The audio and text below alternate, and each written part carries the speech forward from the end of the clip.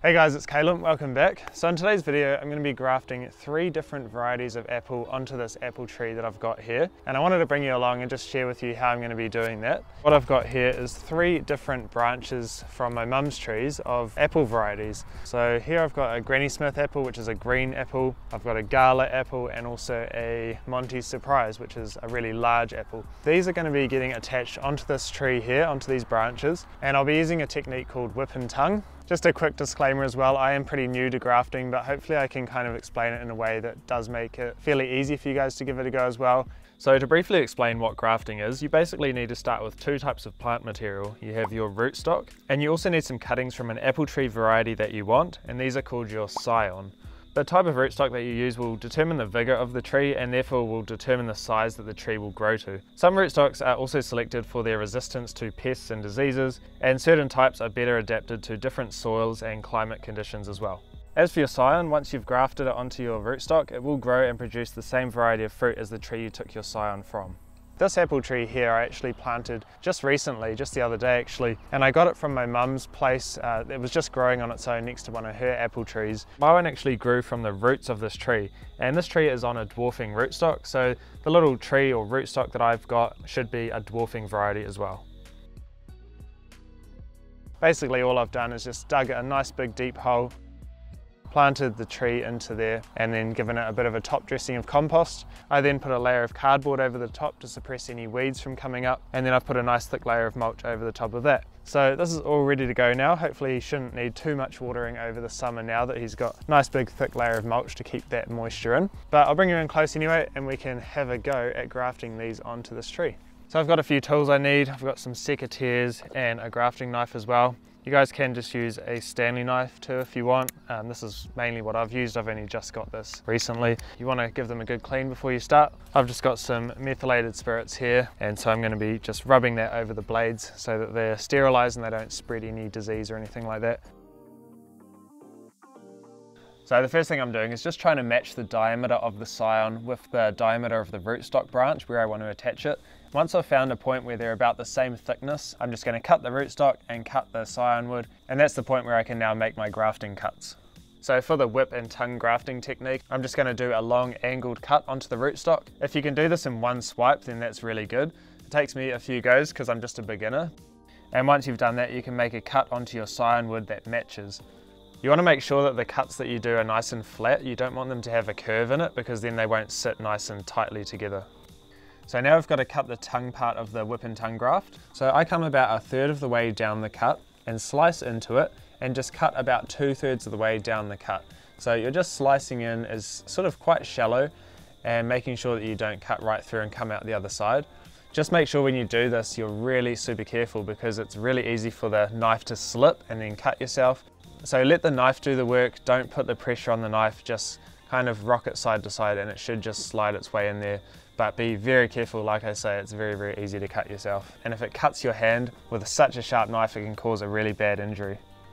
So now I just need to make that same cut onto the rootstock. So we just put our knife about a third of the way down and just slowly cut down about two thirds of the way down the cut. Okay, so now that we've done that, we can slide them together. So basically that little tongue or that little wedge should just be able to slide into the other one and that will actually hold it quite securely and, and hold it together and in place. And that way any wind or if it gets knocked or something like that, it's not going to bump the graft apart. If you get to this point and it doesn't look quite right, you can always recut your scion and recut your rootstock and try again. So don't worry too much if it doesn't work the first time. And so if you want to get some more practice, you can just use prunings from a fruit tree or a willow tree and just have a go making these cuts and joining two branches together. And that way you'll increase your confidence with it. So when you do it for real, you know, you're gonna be a little bit better at it. And yeah, it's just a good way to practice. So for a graft to be successful, the cambium layer of the rootstock and the scion has to line up and be in contact. So for a graft like this, I just make sure that the bark is lined up and flush on at least one side of the graft. And that will mean that your cambium layers should be in contact because the cambium layer is just the layer of living tissue just underneath the bark. And so if the bark's lined up, then the cambiums hopefully will be as well. Don't worry about trying to get both sides completely perfect. Just make sure that one side lines up really well and the other side can either line up or not. So now we've just got to wrap our graft with some grafting tape. So basically this is just to hold in moisture, stop excess moisture getting into it, and also stop it from drying out. So it will also help hold it together as well. So pretty much you just need to wrap, I wrap from the bottom up so that if there's water that goes on it like rain, uh, it can shed off more easily, kind of like a roof would. So yeah, wrap it from the bottom, twist it around, work your way up, and then pretty much once it's wrapped, then you're good to go.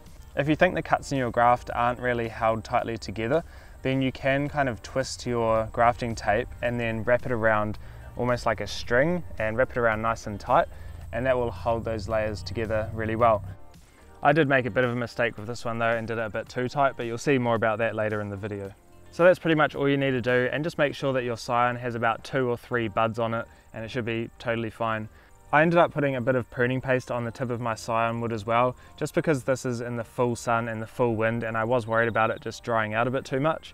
And with this one as well, I did end up wrapping graft tape over the whole scion wood and this was probably a bit overkill for an apple graft because apples are typically pretty easy. Um, but this was just, like I say, an extra measure I took because I was worried about it drying out in the sun and in the wind. All right, so we're all done. Um, it was a bit random how I've kind of covered this one with the tape and then I've done this one as well, but I've also put the pruning paste on the top of the wound. And then this one here, I've got none of the grafting tape up high, but I've got pruning paste on the top to stop it drying out.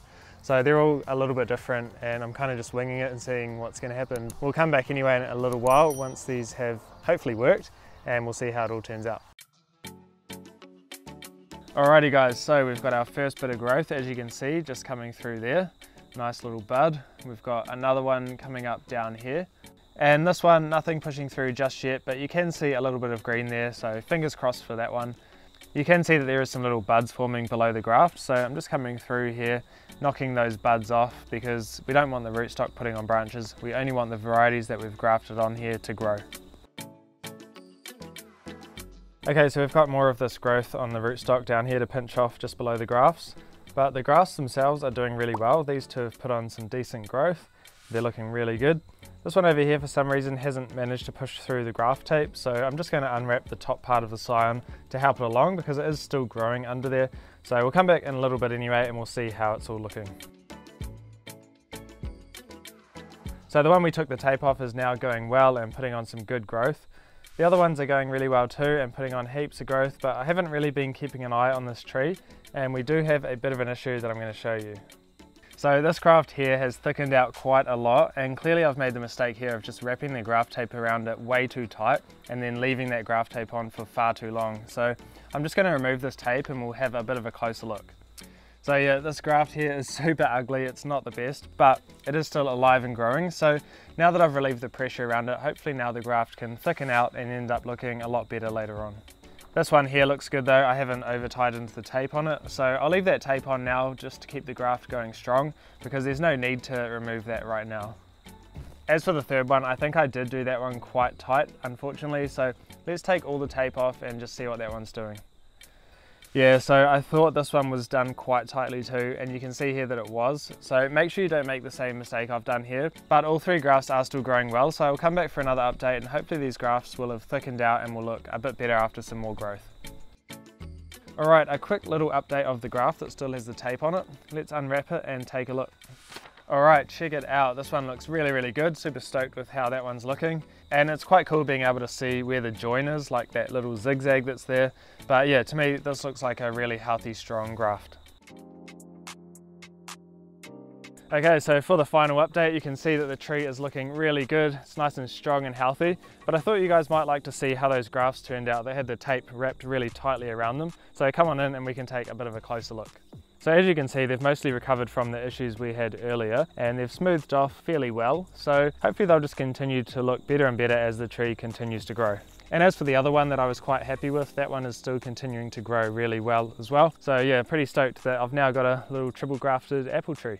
So the rootstock of this tree has grown a few more random branches out of it, which I didn't end up pruning off, but it is coming into autumn and winter now, so I'm just gonna wait until the winter and I'll give this a nice tidy up and a prune up, ready for next spring. We've got this branch over here, which I never grafted because it was quite thin, but it's a nice sized branch now, so probably next spring I'll add another variety of apple onto this tree as well. I hope this video has been of interest to you or encouraged you to have a go with grafting yourself. And I would recommend starting with apples as your first tree. It is sort of one of the easier ones to graft. And the technique I showed you is not the only one. There's different ways to graft, different cuts you can do. So, you know, you don't have to do this one. I'd also recommend doing a grafting workshop if you have one near you. It's a really good way to get hold of all the materials like the scion and the rootstock and also just connect with other people, learn from each other. If you guys are daunted by any of this, don't worry if your graft doesn't work because your rootstock is most likely going to survive, it's going to put out new growth and you can try again grafting next spring. So just don't be too worried about failing, just have a go, experiment with it and see what happens. But anyway, I hope you enjoyed today's video. If you did, make sure you give it a thumbs up down below. I hope to see you guys in the next video, but until then, have a great rest of your day. See you next time.